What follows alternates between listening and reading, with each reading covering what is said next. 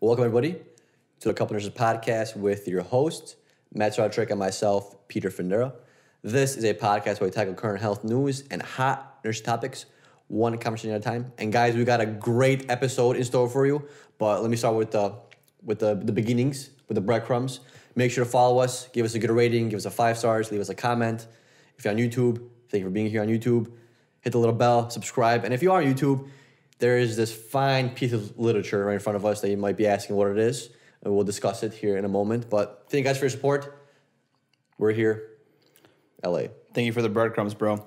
So, in this episode, we're going to discuss the NCLEX on how to pass it, the exact steps that you need on your success, strategies, and we'll also explain studying and planning for actually taking the NCLEX. So, if you're a nursing student, get ready because this is an episode you will not want to miss. You will not want to miss. I'm going to repeat that throughout this episode.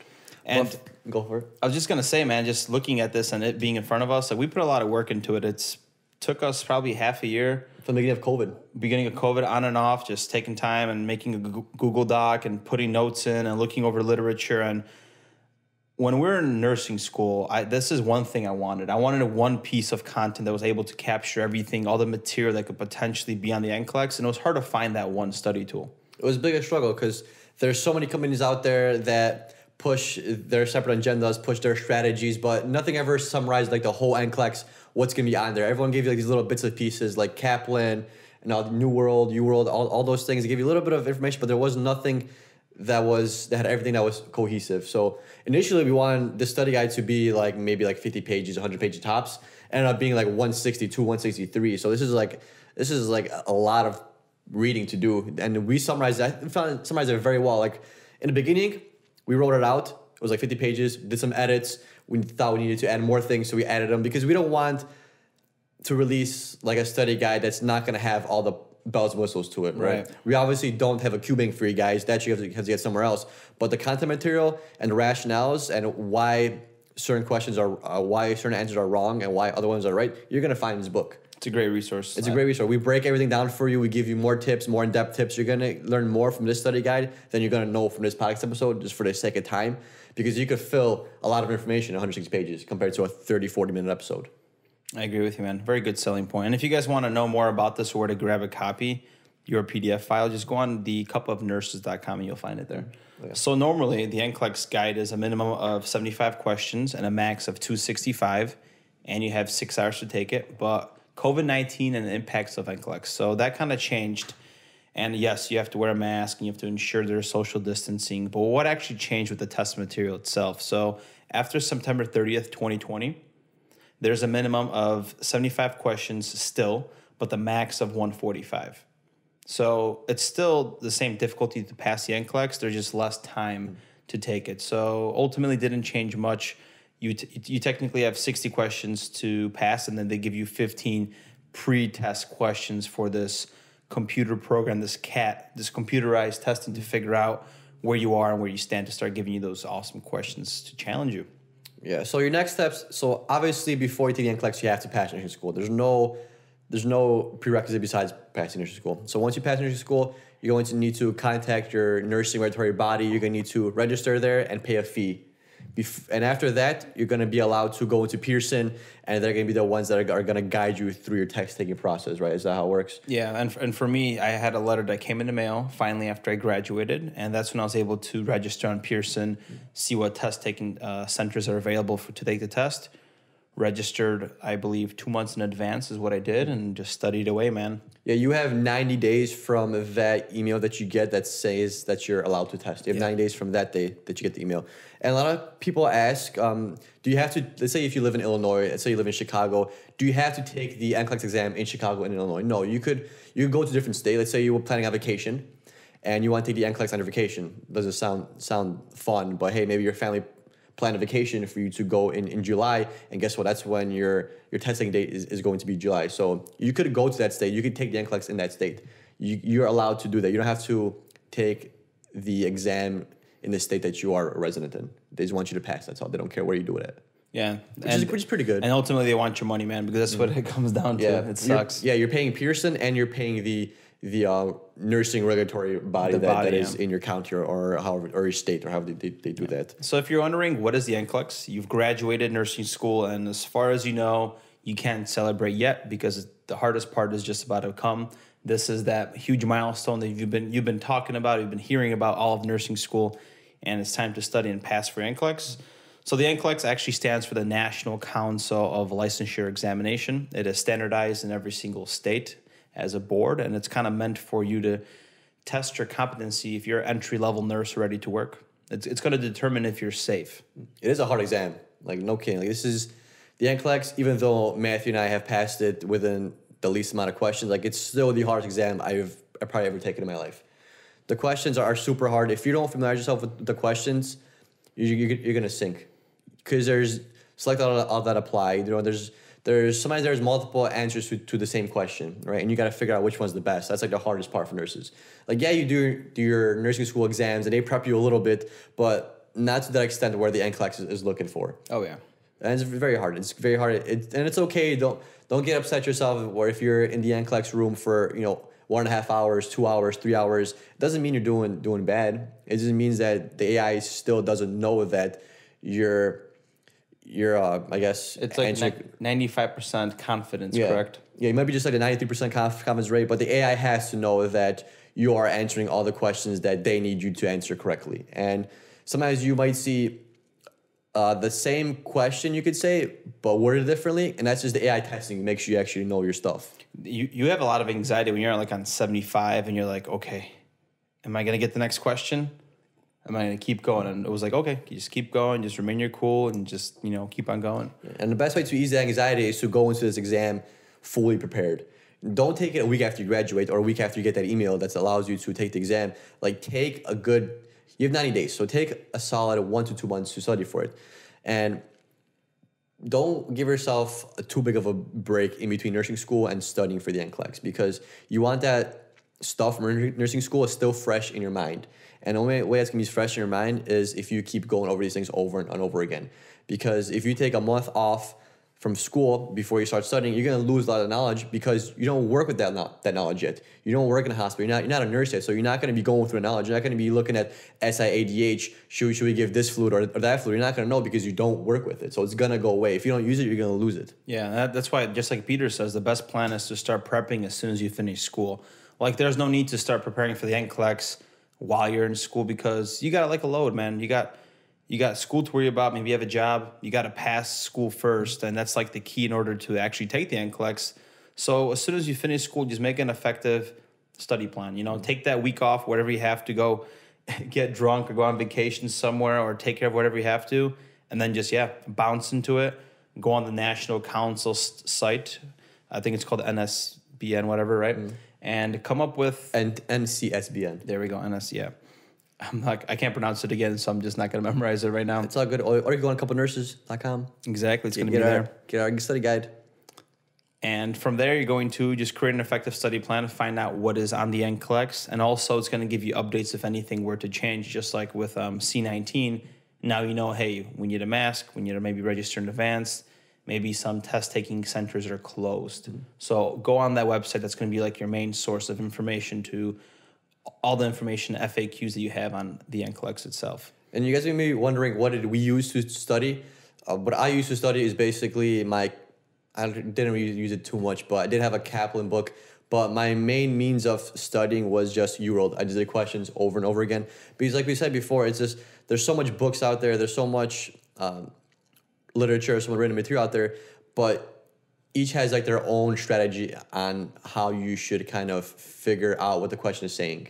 You know, it's not only content they're offering you, but they're off- also offering like strategies like how to eliminate, you know, certain questions, which I don't really deem necessary. That's why I prefer like ours, which is just content based. Right. Because if you know the content, you don't need to worry about strategizing on on which answer is more right than the other one. Yeah. Another one because you you know the priorities. You know, A is first, B, C, and then D. You know, yeah, you might see them all, but the NCLEX is always looking for the first one. So if you know the content properly and you just practice the, the NCLEX and, and like the NCLEX question, the wording with UWorld, you will have a lot easier time with compared to somebody that uses all these books and a bunch of different online platforms. Yeah, and just be careful when you're reading the question too. If it's like a negative stem question, check what they're looking for. You know, You have to know the content, but they also might trick you. So just be careful and read. And UWorld was my success as well. I it was like I think over a thousand questions, and it was a giant Q bank. Every single day, I you know, I, we could we could talk about the study schedule in a second, but yeah, took a couple hours a day, did all the questions, and then I I used to write down all my rationales. I think that's very important. If you if you're getting questions wrong, you should start asking yourself why you got that question wrong. Start figuring out the rationale, read it over, find out the disease process, find out why that question is wrong. Like you understand it why it's wrong. Yeah, you got to make sense of it because if you're not making sense of it now, what makes you think you're going to make sense of it when you're a nurse? Mm. Like shit's only going to get harder. Therefore, figure out the problem at its core, which is now why aren't I understanding this material? Yeah, yeah because maybe you haven't gone over it enough. Maybe you might have missed it in, in class that time. Maybe you were just tired that day. But yeah, you gotta know the content. If you know the content and you know the questions, you will pass the NCLEX. So moving on to our next thing, probably the one of the most important things is going to be your study, study schedule and the study materials. So me and Matt, um, looking back, I'm not sure how your study schedule was. I know we talked about it before, but but I forgot what, you, what exactly you said. But I worked five days a week, brother. It was freaking tough. Yeah, same. I worked full time as well while studying for this. So this is doable, guys. This is doable. You usually have to devote some time. That's why it's so important to create a study schedule. And plus, you're, you're out of school now, so no more going to class. You don't have to. Even though you work full time, you're still saving time by not going to class. So that time that you devoted to going to class, to see his lectures, to speak to the teachers, that time should be devoted for NCLEX, if not more. Because in theory, or when I look back at my school, I was in school for a solid four to six hours a day, probably at least four days a week, right? So that's a lot of hours. And and if you were devoting that much to school, you should definitely devote that much to your NCLEX. Take consider it as like a class, as like a a NCLEX program for yourself. Yeah, just I kind of like to get into this like crazy, you want to call it a Navy SEAL mindset. I'm just like, all right, this is the goal. I want to pass this. I'm gonna take my next one to two months and um, my time is going to revolve around studying, and that's it. Just rinse, repeat that shit. Make it a habit. Wake up three to four hours, whatever the case might be. Take your hundred questions a day, or go read your two chapters from the NCLEX guide, whatever it is. Nail it down. Write some notes, and that's going to depend on what kind of study um, person you are. How to not study person, but how do you retain information? Correct, and just keep on getting it. That's how that works, you know. Yeah, and if you if you feel like you're you're falling off off the wheel or off the wagon, because a lot of times, as people, we're good at planning and we mentally visualize it. We're gonna do this tomorrow, and then Wednesday we're gonna do that. Thursday we're gonna do this. We're gonna study this on Friday. If you see yourself falling off from that, the best advice that man I could give you is to actually write this stuff down. Either put it in your phone and a Google Calendar or Apple Calendar, whatever calendar app you're using, or write it down in a, physical calendar. But write it down. Write down Monday I'm gonna go. I'm gonna be studying from let's say 9 a.m. till noon, and you're gonna do a pharmacology that day. And then Tuesday you're gonna study from. You say you have work, so you're gonna study from let's say 7 p.m. till till 10 p.m. Yeah. and you're gonna do OB 100 questions that, that day. You know that's a good way to do it because you're crossing off those goals. You visually see yourself crossing off those goals, and you're seeing yourself yourself progress on like a visual paper format, not just not just looking back at things. It's a lot harder for us to visualize ourselves ourselves progressing if you don't have anything to check off or anything to mark off. You know, because life progresses, we do progress, but it's hard to, to pinpoint it. Yeah. It's hard to say, hey, I did this, I, I did this last week, or I did, I did that the week, the week prior, because you just don't recall that, and you yeah. don't feel like you really did anything. And that that's why choosing your study material is important. Everybody has a different learning style or retaining information. And like for me, it's like the notebook, right? I wrote down key topics, rationales for the NCLEX. I've used that notebook to review like the two days prior after I did the questions. And also, I use a notebook to this damn day when we do podcasting, when I'm juggling life, juggling this. Like, I write down everything I do. Like, I'll wake up sometimes and I'll write down these are the things I have to do. I'll sometimes put it back into my notes mm-hmm. and I'll just, I'll start it like that. So it just, it just depends. But I think a notebook for me, see, everybody's different. Like, whatever keeps you on track and accountable. Because I could look back at my notebook and I'm just like, damn, I've been doing a lot of shit. Even though you beat yourself up for it, or you might be like, let's just say, you know, because being disciplined is hard. Let's just say you're studying for the last two, three weeks and you're just like, I, I'm not getting this. How am I going to pass this? Because you have negative thoughts when you're taking that NCLEX. Like, just look back at everything you've been doing. Like, you've been through school for four years. Like, you got this. You've been this is the moment you've been waiting for. Like you will succeed. Just don't beat yourself up now. The hardest you ever have your whole life, right before the biggest exam of your life. Yeah, use use the study materials you have around you. Don't just read a book and expect to you know pass. Use everything for your benefit. Everything's gonna have a purpose. Like you use flashcards for like I'm sure back in pharmacology you use flashcards. Those are those are big in pharmacology. Use those, use those flashcards. Use sticky notes. Write a few sticky notes. Put them on your fridge. If you finish that sticky note, throw it out. That's one sticky note less you got to worry about. You know, it's just you seeing yourself move from five sticky notes to three sticky notes on, on a fridge. You're already seeing that progress. Notebooks are amazing too. Like Matt said, Matt uses a notebook. I have like four different notebooks.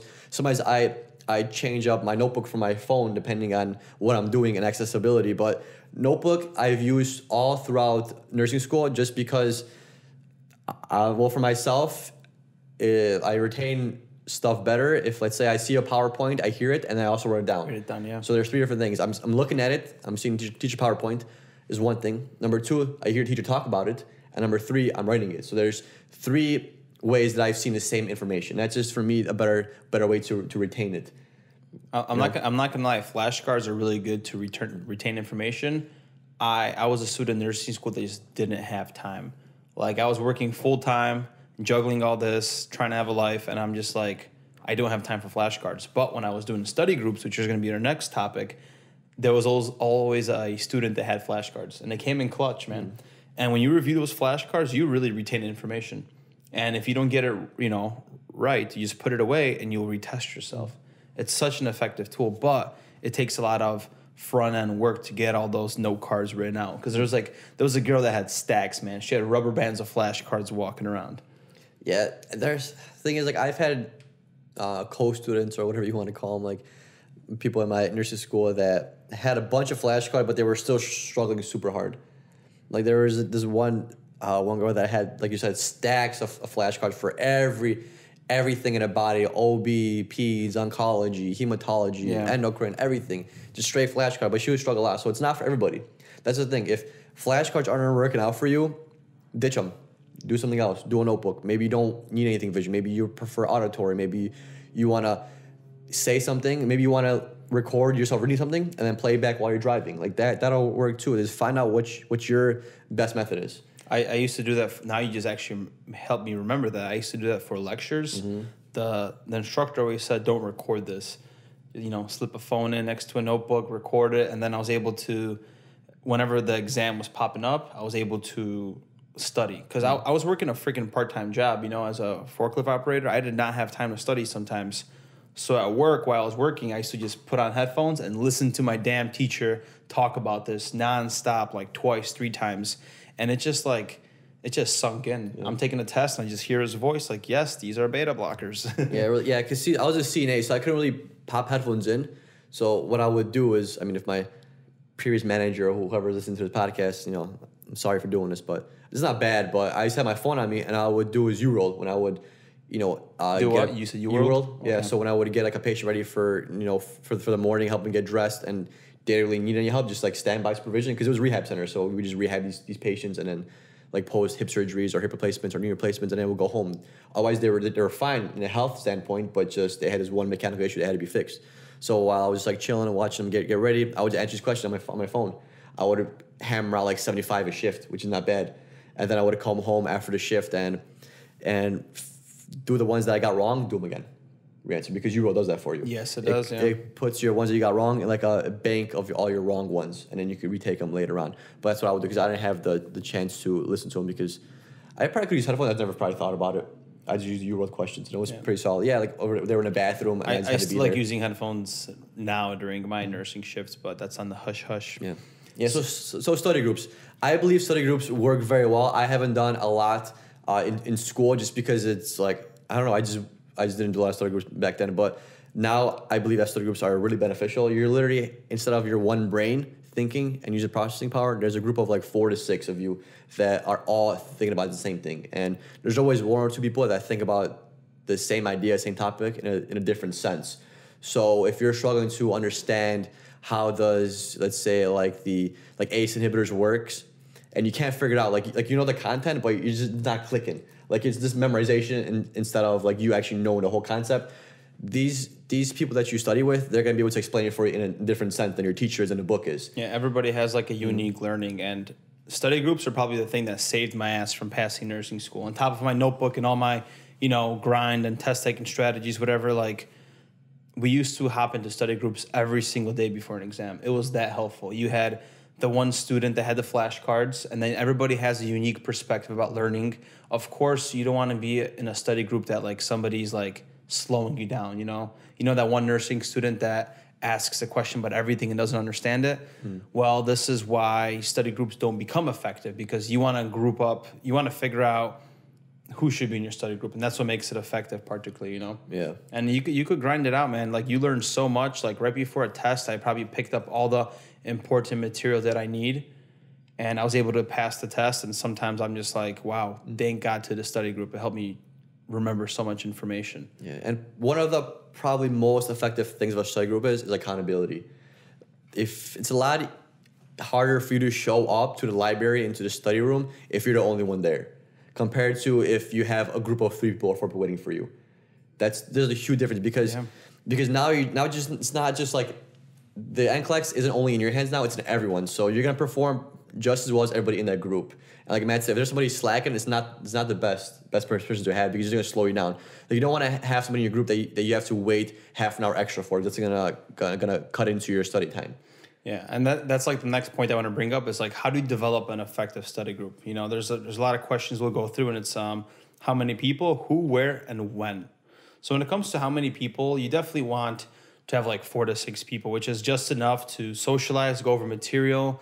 And like having a bigger group is cool. It's awesome. You get to socialize, but it's harder for everybody to contribute just as much. Anything over six people is considered a party, and you can't study in a party. It doesn't work like that. Yeah, science, numbers, guys. It's Co- facts. Cops will come to your house for COVID. You know, if you mm. have more than six people, man. So yeah.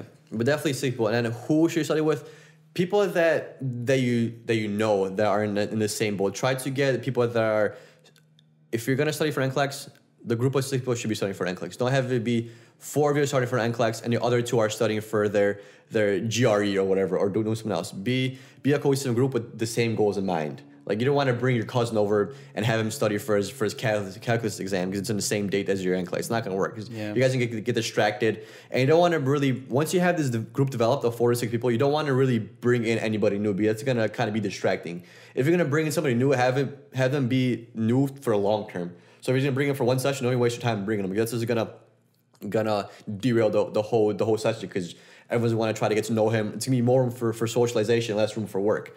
But if you're bringing somebody in that's also gonna study for the for the NCLEX, is gonna be there more than one session. That's a good idea because guess what? Yeah, you might have seven people now, but still he might bring a different atmosphere to the group. And yeah, exactly. And it's not cruel, just it is what it is. That's what you need to do to take your test. So It's business. pick your poison. It is business. Like the way I did it too is after, you know, we graduated, we had it was me and my two buddies, okay? Matt, Neil, and me. And we rented out study groups or like a, a study hall in the library every single night. Came up, met up for like, th- you know, three, four hours plus, six sometimes, whatever we had to do. Brought a bunch of snacks and just like worked it out, man. It was literally like a work shift. Like came in there, we knew what's going on. Everybody drank a freaking brought a large Dunkin' Donuts cup uh, cup of coffee, or we brought a box of Joe, and we just like handled business. And that's where that's where the where comes in. You know, you choose your best environment where you think you won't be distracted. At least, you know, libraries are cool. I think now during C nineteen, it kind of makes things a lot more harder. So I don't maybe have, easy. Yeah, it, it depends. It could go both ways because now things gonna be less full. So maybe you're more inclined to get like a room. I'm not sure how universities are if they're still allowing people to use their study study rooms. I don't I don't see why they shouldn't, but I understand with the laws going on and the governors, you know, they're gonna be less less inclined to allow this for you. it's kind of goofy where you're not supposed to meet up with people because you could spread infection. But to be honest, man, it's the NCLEX guide. It's, I'm not. It's the NCLEX. It's standing in front of you. If you have to sacrifice work studying studying with a couple friends, I would do so. Yeah, go to someone's basement. Do it outside if you want. Like I know for me, majority of my college career, I spent countless hours in Starbucks. I'd always either go to Starbucks or I'll rent out a study room in a library. That's would- where I would hang out all the time. You were the gold card member, huh? I was a gold. I'm probably still am. Probably they probably have my like my name on the wall. Like, hey, we took this much money from this guy, this this nursing student, you know. But yeah, I liked I liked Starbucks, even though sometimes it could be a little loud. I'd pop my headphones in and I just I just grind it out because just like the en- environment, like atmosphere. Because if you this is a coffee shop, so people are buying coffee because they got to be more productive, right? So there's, so there was always that mindset of like productivity or accomplishments going on in Starbucks. It's like that Starbucks atmosphere. That's what we used to remember. Me and Peter used to write blog posts all the time, and we literally went to Starbucks, even though it's loud.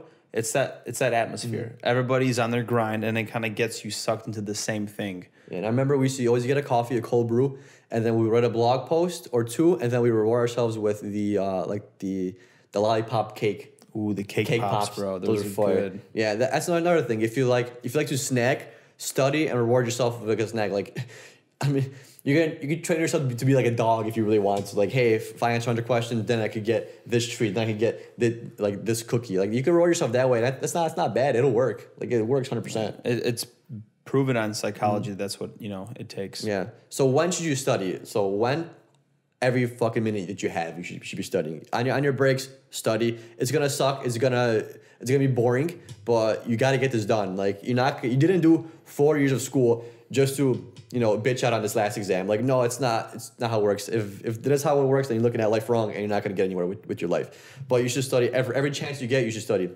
Yes, devote times to breaks, but you know, there's don't make sure your breaks aren't longer than your actual study sessions. Like devote at least three hours a day, at least like four or five times a week for these next two months. It's two months, guys. It's two months out of the rest of your life. You could literally grow some balls, study last two months, put down the phone, stop talking to people. You know, tell your boyfriend, your girlfriend, hey, I'm gonna I'm gonna take I'm gonna be on a low low for now because I gotta study for the exam because this is my future. Do it, get your one, one year of experience, and you can become a travel nurse. Most of our listeners don't have balls, bro. It's okay. I'm Oh, kidding. damn. So uh, what are the labia, labia minora, labia majora. Shut you know, up, they're low key. this is no balls. Uh, I, I was gonna there. continue and say something else, but you kind of put yourself in that hole to say all that. Someone's got to do it. So number one thing to your success as well, on top of having your guide, is keeping the eye on the prize, right? Keeping focus, right? A lot of people feel like they're busy and they're doing a lot of shit, but really you're not doing much. You're just busy with everything that consumes your time, which is, you know, you have to go to the grocery store, but now you check your newsfeed, Facebook, now you're replying to people's DMs. Now you're checking this. We have all these apps that are constantly grabbing our attention. The question is, is are you willing to cancel out all that noise for a month or two or limit your screen time, whatever it is, so you could get the job done? And you know the job, the pass and the NCLEX. That is that one job that you will have once you graduate school. You better hammer it down. Yeah, if you were to ask me what are like my personal recommendation or takeaways from from the NCLEX, is probably going to be one, devote some time to this, at least three to four hours a day. Like you're out of school, devote that time that you would devote to class. Use that towards NCLEX. Use that towards benefit. Two would be definitely put down on social media. Yeah, take a look at it once in a while, but you don't gotta constantly stare at it because, like Matt said, it's gonna take away a lot of your time. And the third one is probably the study environment. You go somewhere quiet if you have to. Go somewhere where you only go there to do this work. If you go to, to the library, get a study room, and that study room is devoted to only you studying. Not devoted to making phone calls, not devoted to paying bills, not devoting to, to, to your Venmo, not devoted to catching up with friends. Like that's your office, that's your space, that's your little study temple, and that's all you do for that three hours. Set alarm clocks, put in your schedule just get it done. There's there's no secret plan besides just study it, and a probably secret plan is probably get the Cup of Nurses NCLEX study guide and, or prep and study guide, and probably UWorld. If I were to use two pieces of content, if I was to go back to four years in in nursing school, and I was just to use two pieces of content, I would definitely use UWorld and I would definitely use our study guide. Yeah, good content. I'm telling you guys, good content. Till we get um, a Q bank for ourselves and we sell it, right? That'd be pretty cool. Yeah. I, I would love to develop that. I would love to help people as much as possible. And by doing this, creating this, that's the way to do it. So be it. Also, another piece of advice I would say, and we talk, me and Peter talk about this all the time, right? Is nutrition, nutrition, dieting, healthy eating. Like on top of you studying and busting your ass, make sure you're getting your sleep because that's gonna freaking refresh your mind. Like you need it. You need sleep to store information, and you should be kind of trying to somewhat eat healthy. I know you're maybe a college student. You've been, you know, doing Freshman your 15, freshman fifteen turn to the, to the senior 30. ramen, whatever you're doing, just like clean up your diet a little bit because it's gonna make a difference. If you're binging on all these sugary, starchy carbs, like you're gonna have crashes, you're gonna be miserable, you're not gonna have that long sustaining energy. Like all these little hacks like add on to becoming that super soldier to pass this damn test. To be honest, And yes, guess what? You're building good habits too, so it's gonna be gonna help you in the long run. because I'm not gonna lie, like me being able to pass this NCLEX and doing everything in nursing school, it kind of like set myself up for for success for doing everything I'm doing now. Like that, like the grit, the determination, all this stuff I have to do, the perseverance, like that all carried over from nursing school into like my everyday life. It's cool to look at because, like, when you're in nursing school, you look forward to finishing, passing the NCLEX, and becoming a nurse.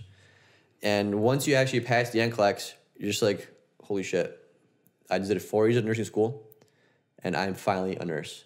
Like that just shows you how your work ethic, your grind, basically Pays off. it pays off and makes you successful and, and it actually rewards you because it's been four years for your ass going to clinical, going to school, pass these exams, failing some exams, the stress, the worry, the anxiety, and you finally get your reward. It feels you finally good. get that license. It feels great because it you learn because when you in nursing school, you're in your 20s, so you still haven't really found out the benefits of like long term goals because long term goals set in mostly like when you're probably later 20s, early 30s, 40s. That's when you realize that hey, like long term goals are, are are the way to go. It's hard for you to realize long term goals as a teenager eh, or in your like late teens, early 20s. It's hard to realize those long term goals because you've only been alive for like 20 something years.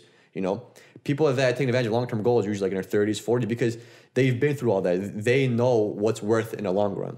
That's why a lot of times our you know attention spans are short because we like the short term goals, and that's why this is so rewarding. This is like your your first long term goal reward. Because passing high school and going to college, some people see that as like a long term goal, but it's not really long term goal because you have to do it. It doesn't matter if you feel like going to school. If you don't, you, your parents going to push you to go through high school, right? It's not really your goal. You never said, you never walked in a senior year and said, all right, by the end of the year, I'm going to be a senior grad. Life is great. Long term goals are finally being accomplished. Yeah. No, you're just like, God damn, I got to wake up at seven o'clock to go on this damn bus for 20 minutes to drop me off of high school. And like, you know, I don't even like half these people. Brian, and, you throwing know, a party Saturday. yeah, yeah. You gonna like, be there? Right, like, like like that kind of little thing. Is Like you don't comprehend the, the massive long term benefit you're getting from going to high school, right? And Hell this yeah. actually puts it into perspective. Like, hey, four years finally paid off. Now I can make some money. Right. And it feels good. Like once you finish, you're paying off your debt. You kind of, I see a lot of people purchasing some a new car, that, you know, Traveling. traveling. You got to reward yourself. I get it. You guys deserve it. Whoever's about to take the mm-hmm. NCLEX or just took it, like power to you. Like go spoil yourself a little bit because nursing school like sucked ass, man. It was demoralizing. I know people cried. I Oh, probably, yeah. I probably shed a tear here and there. Probably not, but Nah, I probably didn't. But, but yeah, and the cool thing about it is nursing is so broad that you go through clinical, you pass your NCLEX, and you want to be an ICU nurse, and you go to ICU just like, damn, ICU not for me. You go to med surg, bam, I, I love med surg. And you try ER, like, damn, I really love love ER. And guess what? You get your first of experience. You find find a little niche that you like, and next thing you know, after a year, year and a half, you think about doing travel nursing. And travel nursing is awesome because nursing and medical field is the only field you could really do an X amount of days in a row and then be done with your work week. Like as nurses, work three twelves and then we're off for the next six days. Like that, that's amazing. Feels and, great. And throw travel into it where you could travel for three to six months up to a year at a, like a like a different state. Get paid more money. Get paid more money, and you could and all you have to do is work three night shifts, three day shift, three night shift, twelve hour, hours each, and then rest is all you. That's like an amazing career, especially for somebody that's our age and like their their mid their mid twenties or coming off of school. Like we are in a perfect field because once you start getting up in age in those early 30s, late 20s, people want to start having kids, start, start settling down. You don't think about yourself as much in the future as you do now, right? So this is like the perfect opportunity.